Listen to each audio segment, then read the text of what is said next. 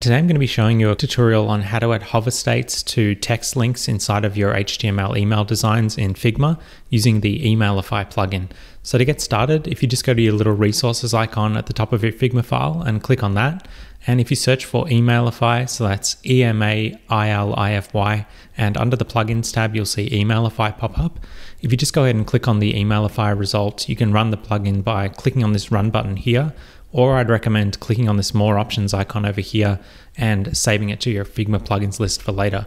So I've already gone ahead and done that. So I'm going to go to my canvas, I'm just going to right click anywhere and go down to plugins. Then I'm going to go down to saved plugins and click on Emailify. And that's just going to run the Figma plugin that we saved a second ago. So if you're new to the plugin, the way that it works is it basically allows you to design HTML emails in Figma and then export them automatically to HTML.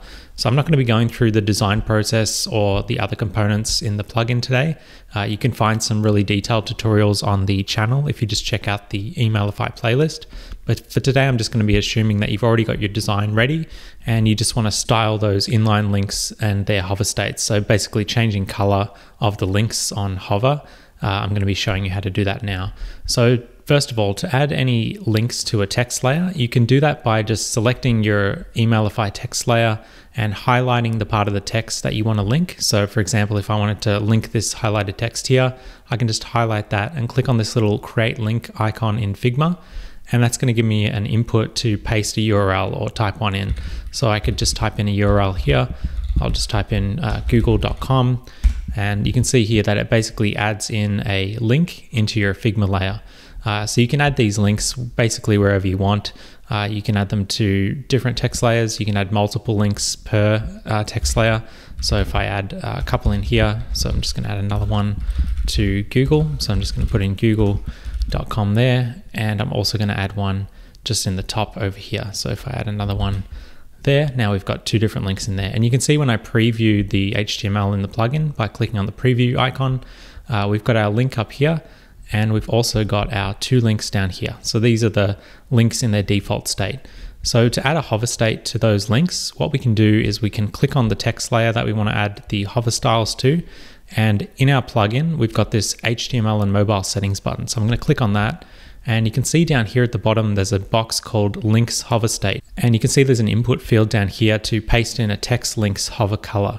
So whatever we put in there is going to become the hover color when we hover over it in the HTML. So I want to make this orange. So I'm just going to click on this uh, layer that I've got up here with a saved color. I'm just going to copy that hex value to my clipboard.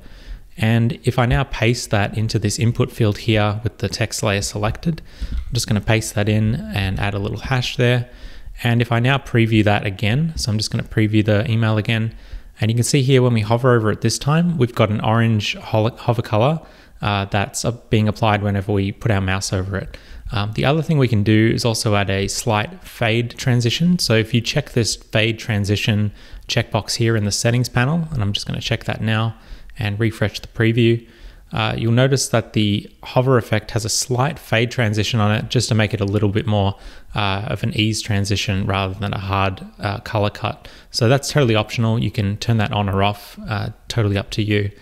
Uh, the other type of layer that we can apply these to are navigation layers. So with Emailify, you're able to add navigation components, which are basically just a row of link layers. So you can add uh, different links which can have URLs on them. So you can see here, if we open up the settings panel with one of these link layers selected, you can see we've got a clickable link URL uh, property. So we can paste in links into each of those layers and that will make them clickable links uh, in a kind of row navigation style. So if we want to do the same thing for these type of links, which are different to the Figma links, you'll notice that there's no uh, link on these layers as far as Figma goes. There's no native link there. These ones have a clickable link URL only through the Emailify settings, so just worth noting that. Uh, but if we want to apply the same kind of hover effect, what we can do is we can click on the navigation layer. So the navigation layer is the parent layer for these link components. And with the navigation layer selected, we've got the same uh, card down here. So we can click on the links hover state input Again, we can paste that in there. So we can paste in that hex value and put that in there. And if we refresh the preview, you'll see that all of these links now have that hover color. So we've got them all uh, changing color at once, even though we only applied it to the one layer. So that's just a really nice way of applying hover styles to the navigation component if you're using that in your email as well. Uh, so that's basically what it looks like. Again, you can use the same fade transition on that one too, and that will allow you to add that fade transition there. And you can see here with the other text layer, because we haven't added any hover styles there, uh, those are basically just default. So that's just gonna uh, click on the link, you can click on it and open it, but it's not gonna include the hover style.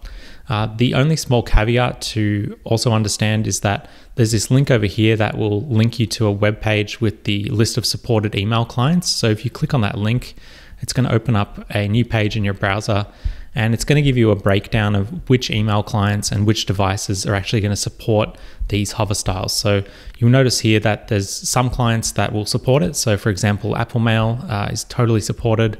Gmail on desktop is totally supported. Uh, obviously, the mobile devices uh, are not going to have really any support for it because there's no hover state on mobile. Uh, but also on Outlook with Outlook on desktop, you're going to get basically no support on that uh, as far as Windows goes. You might get some support on that with uh, Mac OS, but as far as Windows goes, you're probably going to have a pretty rough time getting the uh, hover effects to work. So it's just worth being mindful of. And if you think of it as more of a progressive enhancement rather than something that's uh, being relied on, you basically just want to include that as a nice to have. If the email client does support it, uh, then you'll be able to get that hover effect. Um, so that's basically it. Uh, I covered the button hover effects in a different tutorial. So if you're interested in applying similar hover effects on the button components, so these are a different kind of component, uh, you can basically do the same thing. So if you click on a button layer, click on the settings panel, uh, you've got some slightly different hover settings here. So on the button components, you can set things like the background, the text color, and also add uh, animated hover effects. So you can change uh, the transition and that will automatically uh, change what kind of transition is applied on the button components, uh, but those aren't applied to the uh, inline text components as we've just been looking at. So if you're interested in seeing uh, more details about the button components, you can check out the other tutorial. Um, but for today, I'm just going to leave that there. So uh, if you wanted to know how to add hover states or change the color of your links and inline links on text layers, this is going to be an easy way to do it. And of course, you can export this out to HTML. So if you're happy with the design and the hover effects, all you have to do is click on the export HTML button in the plugin, choose the export format. So you can either choose a vanilla sort of HTML email export, download it to your computer, or if you're using a platform, you can use a platform integration like MailChimp. Uh, for today, I'm just going to do a really quick export to the desktop. So I'm just going to click on export to HTML I'm going to export that and save the zip file to my desktop and open up that zip file, open up the folder, and you can see here that I've got my uh, HTML exported. So if we drop this uh, previews file in here, we'll just drop it into the browser and you can see my hover effects are being applied uh, as you'd expect. So um, that's just a really quick way of exporting it to HTML that you can actually use. And the email itself is just inside this subfolder here. So any emails that you export will be in these subfolders, and the previews page is just basically loading in uh, iframes of those subfolders. So the actual email code is just there. So that's basically what it looks like.